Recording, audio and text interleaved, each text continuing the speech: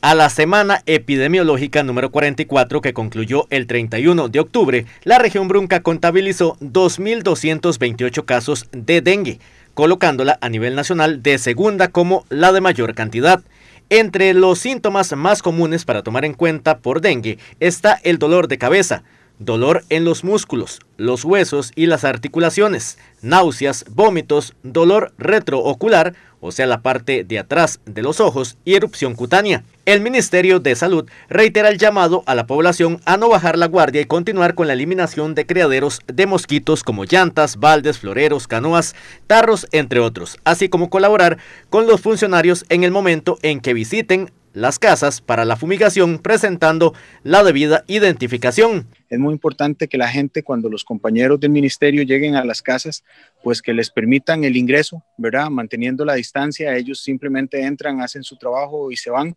eh, para, para poder continuar con la destrucción de criaderos, eh, explicándole a la gente dónde tienen criaderos y que tienen que proceder a eliminarlos. Además, es importante recordar medidas como aplicar repelente contra los mosquitos en la piel expuesta, usar camisas de manga larga, pantalones largos o también los mosquiteros.